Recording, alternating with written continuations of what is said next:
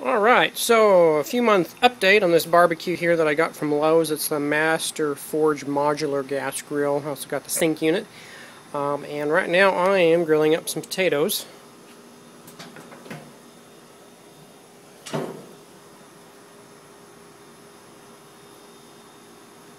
So we shall see how these turn out here in just a little bit.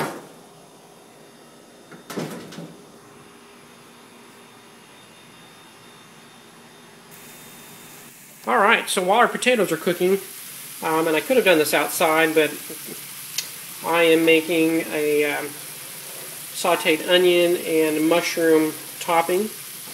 And what I did is I took this, mixed some olive oil in here, and some Jack Daniels, and then I put some garlic, and some salt, some pepper,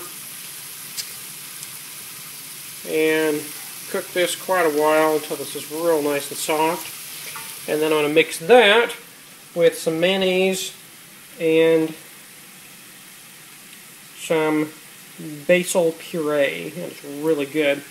And then once that's mixed all together, I mix that and that, and we top our potatoes with that. Put a little cheese on that, and it's going to be great.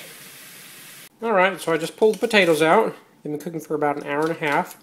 Pretty big potatoes, alright. That.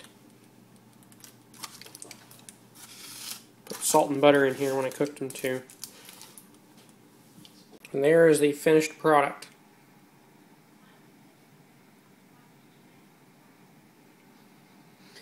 Still like the grill.